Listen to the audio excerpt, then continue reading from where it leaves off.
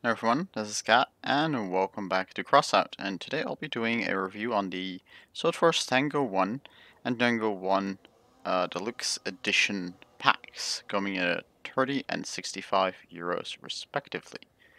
And for that, um, of course they are added to the promotional account. And I will be looking at the overall value, effectiveness from both kind of like a new buyer and a value buyer's perspective. So the WLP comes with a quantum cabin, which is a decent, although not amazing cabin. Would be pretty good for new players. Uh, for the record, I'm looking at this live, so if I miss anything, that's kind of beyond me. Uh, you have two tacklers, which are decent machine guns, but not really too amazing, and especially in the this configuration has been put into the vehicle, which I'll be talking about in a bit. They're not the most effective weapons all around. Then we have the King Mine Layer, of course, a new weapon. Uh, then it should have some decent value, so let's just check it out, how much value it is right now. And comes in at 3,000 coins, will probably be going down towards more 2,000 coins, because as far as I know, it is not a very amazing weapon. Now you get the hot red engine, uh, which is always a good engine because it is uh, zero energy, which allows you to put it on any vehicle you want. Increase the uh, power by 20%, mass limit 1000 kilograms, and max speed by 13%.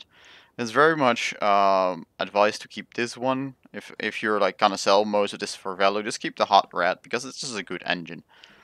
Now we've got a bunch of stickers. Won't be really talking about those because they are always subjective. Then we have six twin wheel steering. This is one trend that I noticed with the newer packs that they get more steering wheels. While the other packs would probably have front steering and a non-steering non-steering. The best here would be would have been if these were steering, these were steering, and these were non-steering. But six steering wheels is good enough. Uh, and in this case, you can see that because the rear two wheels are just slightly behind the center of mass, they steer uh, alongside the rear wheels instead of front wheels, which does help the uh, maneuverability. But if you lose your two front wheels, it's going to be very hard to steer this. So again, for this build, just keep that in mind. Um, and for and the rest, we all have a bunch of APC parts. I'm pretty sure that these are new. Yeah, WLP parts. WLP part, WLP part. Yes, those are new, the new parts. So six of the uh, Bartizan fenders, which are pretty large fenders but looks fit. And a left rampart and a right rampart. So look at those. Those are these parts right here. Uh, these are the ramparts. And then we got one Bartizan right here and two more right here. And the Bartizans look to be very good parts. Like the health is pretty good. Let's compare them to the large fenders real quick if I can find myself one. Uh, there it is. So, um, 224 kilograms to 263. Not too much difference. Um, the power score of large fender is a bit higher, and the durability is a bit higher as well. Overall, I'd say these are pretty comparable. With the added bonus that these ones are a bit more compact and have more welding points. So pretty much where you would uh, fit large fenders in a build, but you don't want them to be as heavy, you would probably want to replace them with the Bartizans. Uh, I do like these fenders, but more for art builds, like you would those in the rear and then the barriers in the front, basically, like, um, or like this on the car. If this was your car body, then like these would be the rear fenders, and these would be the front fenders. I do think I do like that thought. Uh, but then you kind of need both the scout vehicle and the WLP.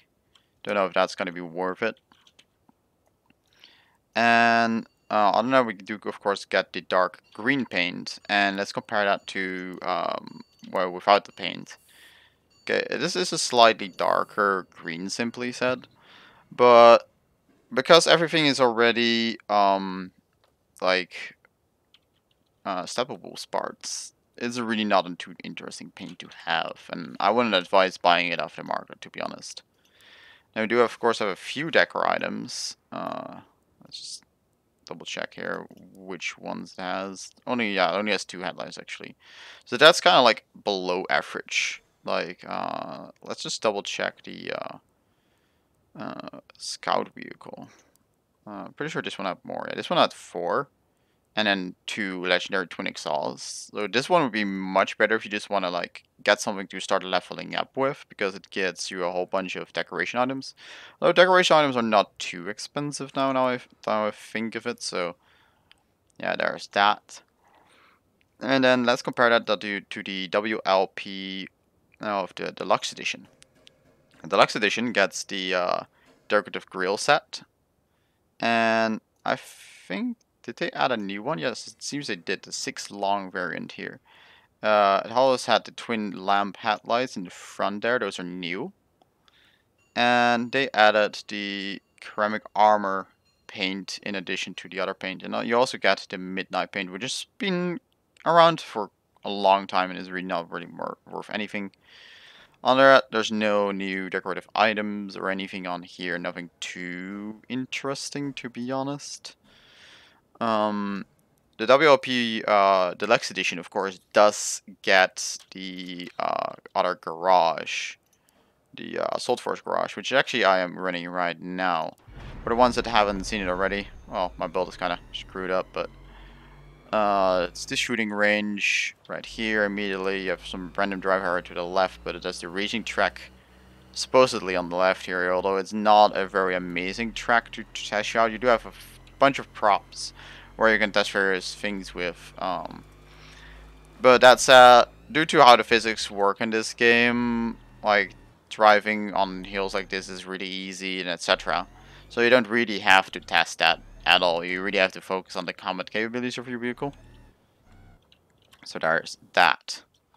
Overall, um, this pack definitely does not seem too interesting.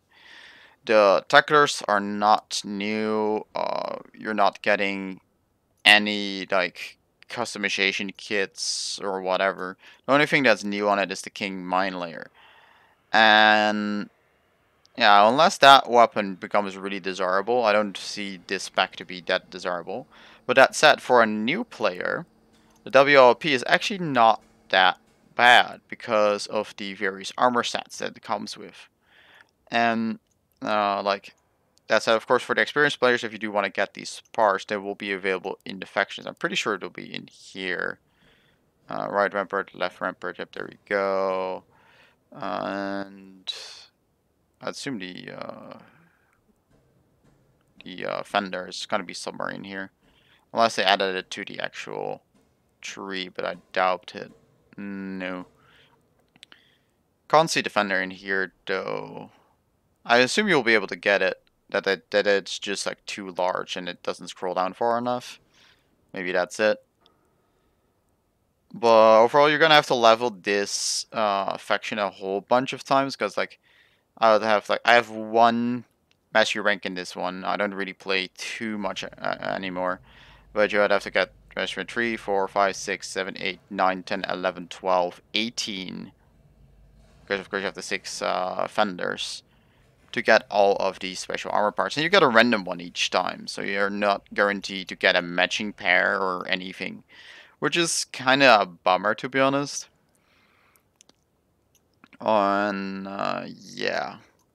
Overall, the vehicle is not great. I will probably make a video on what I would do if you actually bought this pack and how I would reconfigure it. I'll probably buy a few uh, different parts based on the coins you get because um, you do get 1,500 coins with the WLP and 4,000 coins with the uh, Deluxe Edition.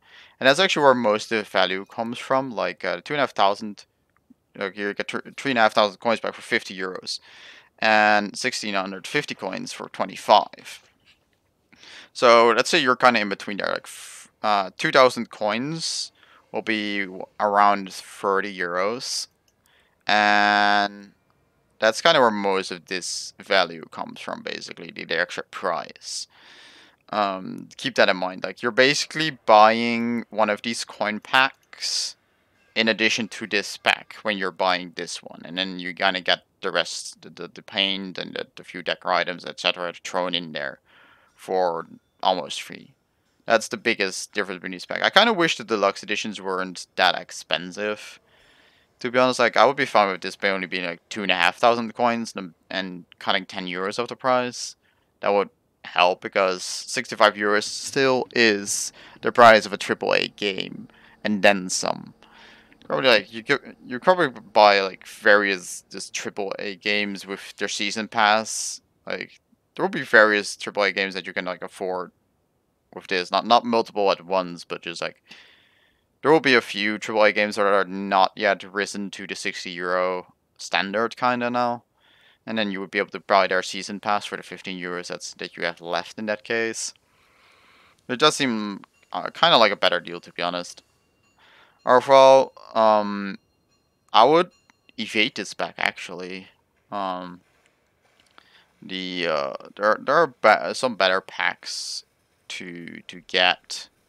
To be honest, if especially if you're already a long-standing player, these are not interesting. But you'll probably have the bunch of step parts already, and at if you're at like you're kind of like at medium level, you want to get the step parts. Uh, but at higher levels, you want to go back to lunatic parts because you're kind of running to the weight limits because you have so much uh, part limit. And you want to cut down the weight, so you want to go back to, again, the um, lunatic parts.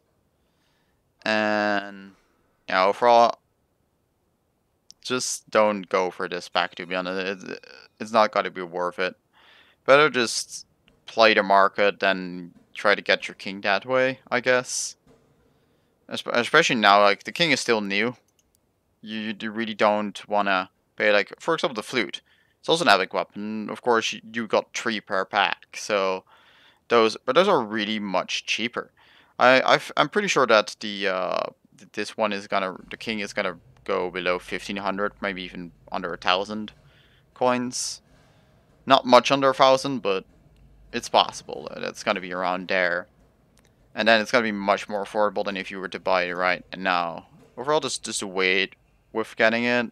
See if you uh, if it's any interesting.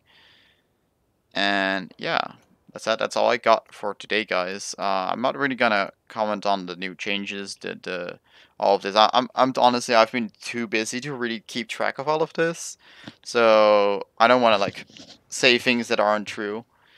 So yeah, that's that. I hope you guys enjoy, and I'll see you guys on the next one. See ya.